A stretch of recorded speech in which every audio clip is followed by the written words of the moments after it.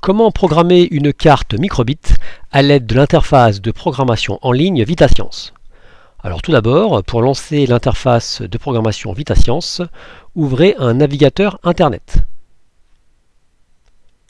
Une fois dans le navigateur Internet, recherchez le site VitaScience. Cliquez sur le lien fr.vitascience.com Une fois sur l'interface de programmation en ligne VidaScience, eh bien vous n'avez plus qu'à cliquer sur le lien Programmer. Alors le site VitaScience propose un grand nombre de microcontrôleurs, euh, tels que la carte Arduino par exemple, ou la carte BBC Microbit que nous utilisons fréquemment au collège. Nous allons aujourd'hui choisir de programmer une carte microbit.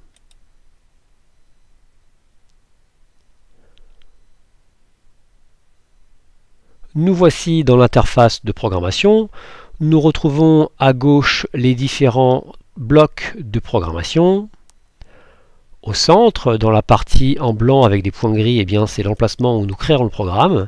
Et nous verrons apparaître au fur et à mesure de la création euh, du programme sous forme de bloc, eh bien nous verrons apparaître le programme sous forme de ligne de code. Donc pour programmer, euh, pour créer un programme euh, pour la carte microbit Eh bien c'est assez simple, nous allons assembler ensemble différents blocs dans la fenêtre de programmation.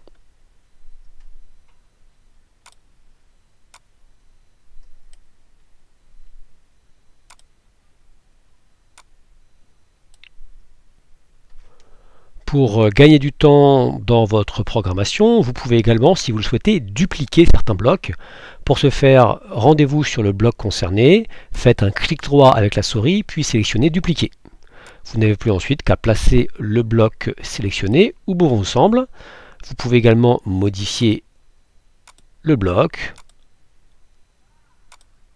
et également supprimer certains blocs en les envoyant vers la corbeille. Une fois le programme terminé, il est possible de le tester dans la carte microbit, mais il est également possible de le tester grâce à un simulateur pour vérifier son fonctionnement. Et donc pour ce faire, rendez-vous sur le bouton Démarrer le simulateur. Ce simulateur représente la carte microbit, et donc nous allons tester le programme. En théorie, si j'appuie sur le bouton A, la carte microbit devrait afficher un logo de cœur sur sa matrice LED et jouer une mélodie.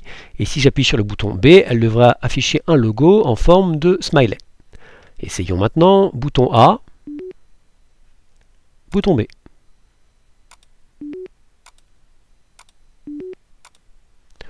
Mon programme est fonctionnel sur le simulateur. Je peux maintenant également le tester directement dans la carte microbit.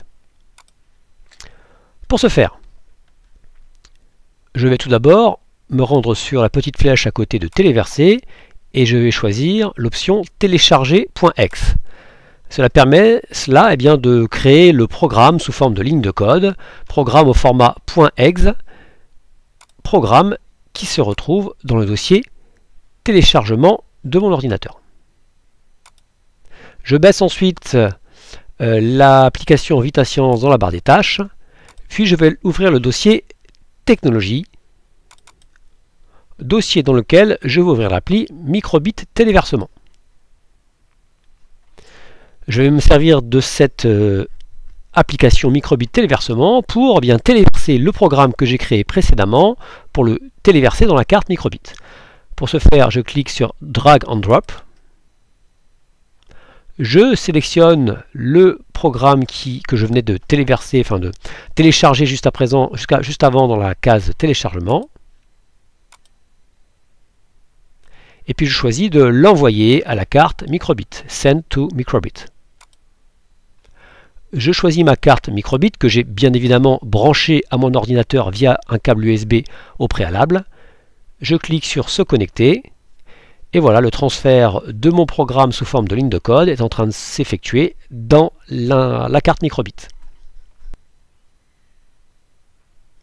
Une fois le téléversement terminé, je peux tester directement le programme sur ma carte microbit.